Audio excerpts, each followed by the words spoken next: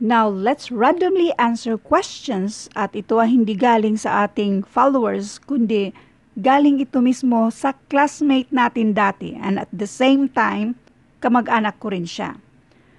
Marami ito at ito'y galing sa grade 9 yata ito. So, this is all about radicals. But before we will start, para sa mga bago pa sa channel ko, ito yung FB natin. At ito naman ang Philippine Civil Service Review for All FB group ito kung saan pwede kayo mag-post dyan. Marami tayong mga FB members na haping sagutan yung mga tanong ninyo. Pwede rin kayo mag-share sa mga reviewers niyo.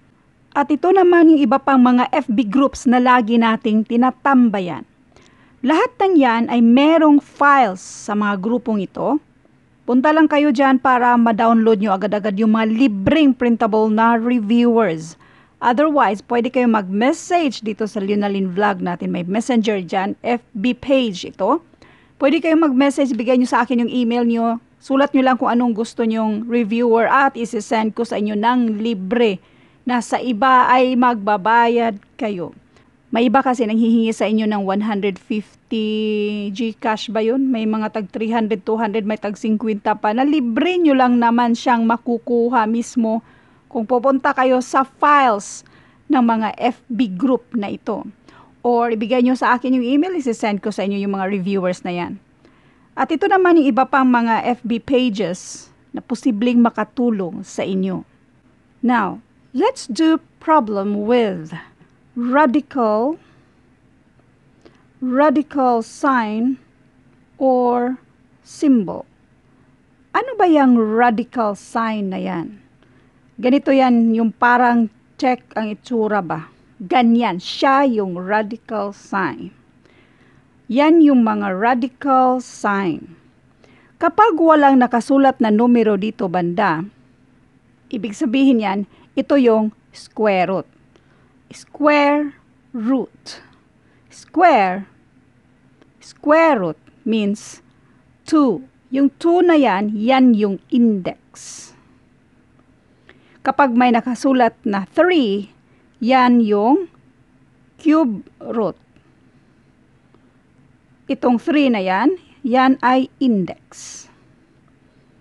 Ito naman, kung 4 ang nakasulat dyan, yan ay fourth root. At itong 4 na to, yan ay index. So ulitin lang natin, itong radical sign or symbol, ito yun siya. Yan yung radical sign. While ito naman yung index. While itong radicand, any number or expression inside the radical symbol. So, example, ito ay 2 or 2x or ano pa, 2x minus 1. Sila yung kinatawag nating radicand. Kung meron man sa kanila ang may exponent, example si 1 yung may exponent, yan yung exponent yan ni radicand 1. Anyway, let's read the instruction first. Read each question carefully and choose the letter of the best answer. Encircle the letter that corresponds to your answer. Number one, which of the following radicals does not need to be rationalized? Ang tanong, ano naman kaya ang ibig sabihin ng rationalized? When we have a fraction with a root in the denominator. Example, 1 over square root of 2. We manipulate it in such a way that the denominator, ito yung denominator, doesn't have roots. Yan yung tinatawag na rationalized. To do that, we can multiply both the numerator and denominator by the same root. So, bali ito, i-multiply natin ng square root of 2, square root of 2, square root of 2 over square root of 2. Ito ay minumultiply lang natin ng 1. square root of 2 over the same na square root of 2 that is equal to 1. So therefore, kung i-multiply natin yan siya, this will be square root of 2 over 2. Kasi mawala na yung square root mo.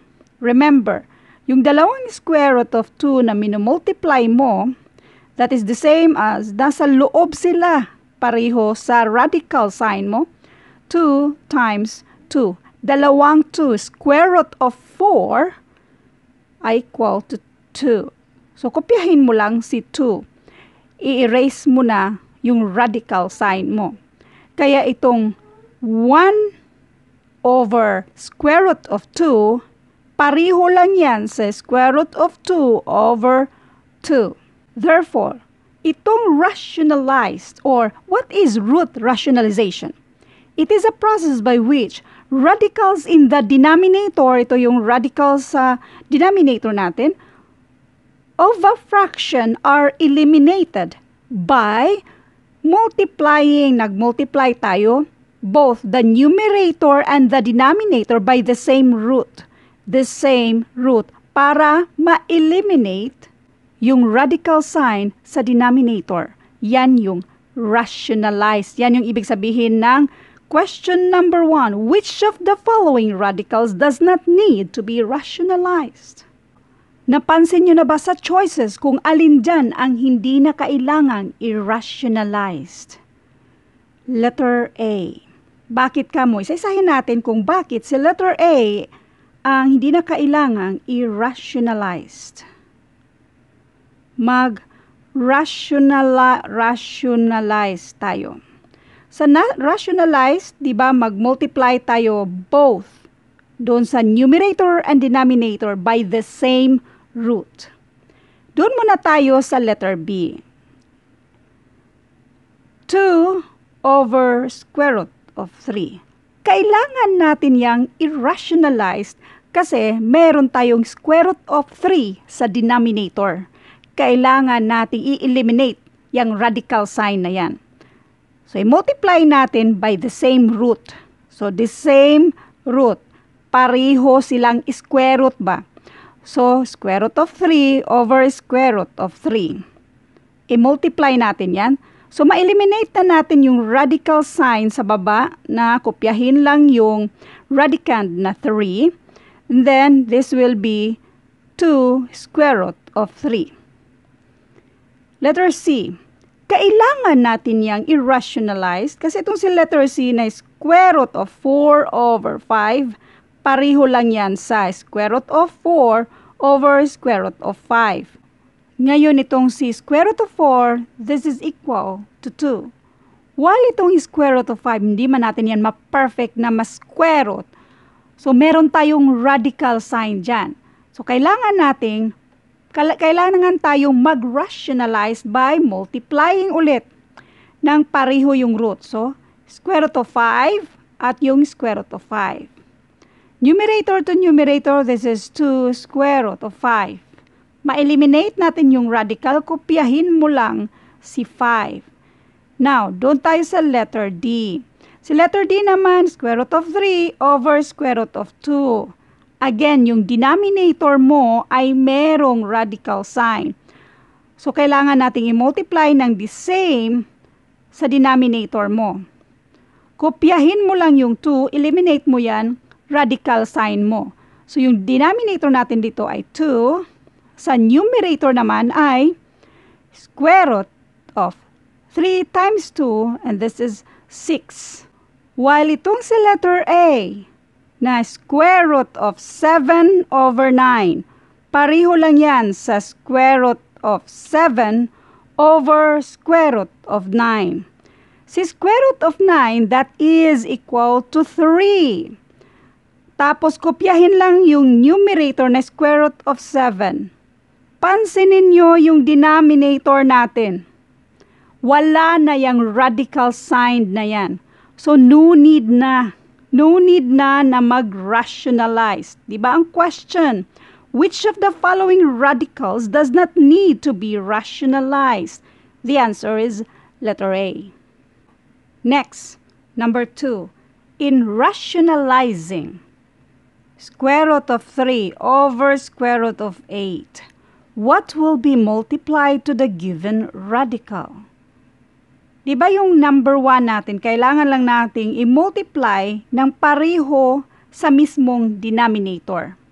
Pero take note, mag-multiply tayo in such a way na mawala ba yung radical sign mismo sa denominator.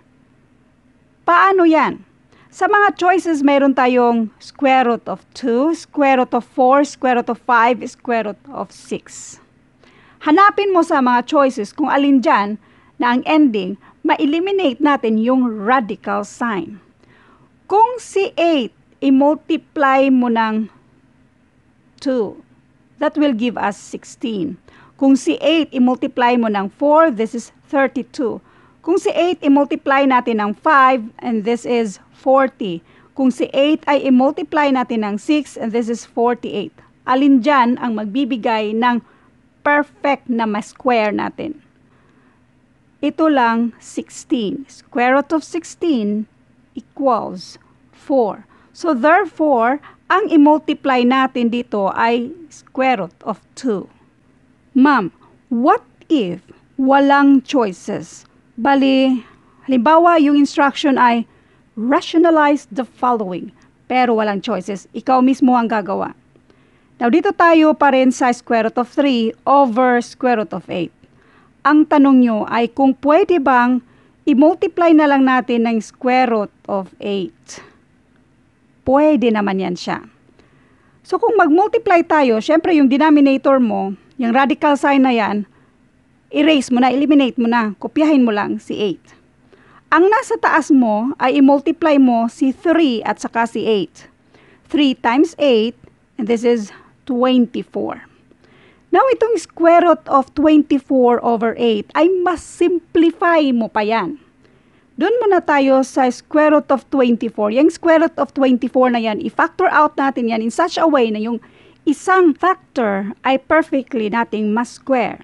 At yan ay yung 4. So we have 4 times 6 over 8.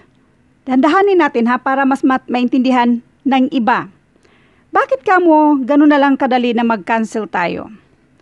Di ba 8 times 8? This is 64. So square root of 64. Dandahanin natin para mapansin ng iba na bakit ganon.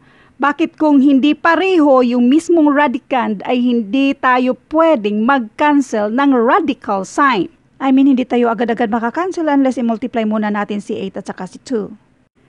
Si square root of 80, ay 64, 8 lang din naman. So bakit pa, isulat mo pa yan kung pwede namang kopyahin mo na lang si radicand na nasa loob ng 8, total pareho naman sila ng radicand, i-cancel mo lang yung radical sign.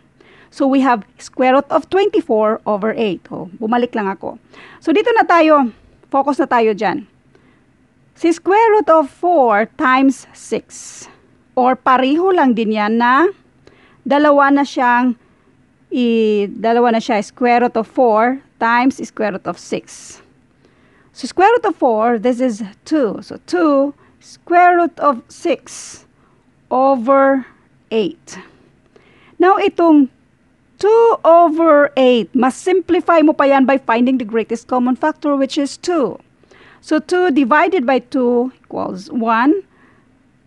8 divided by 2 and that is 4. So this is square root of 6. Yung coefficient na 1 dyan, pwede mo na mag-erase. Kaya ang sagot dito ay square root of 6 over 4. Tingnan natin dito sa isa na nag-multiply tayo ng 2.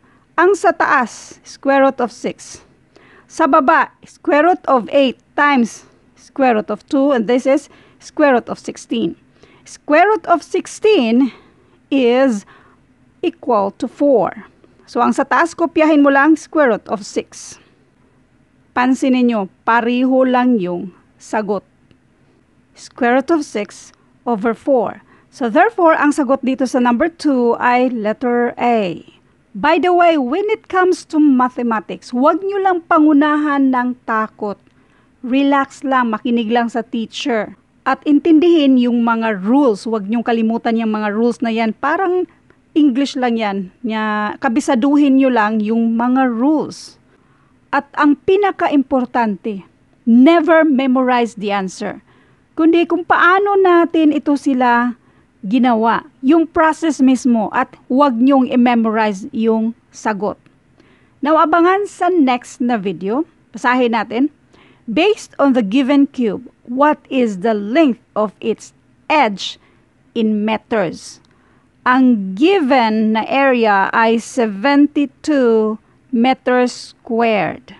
Choices are A, square root of 2, B, square root of 13, C, 2 square root of 3, D, 6 square root of 2.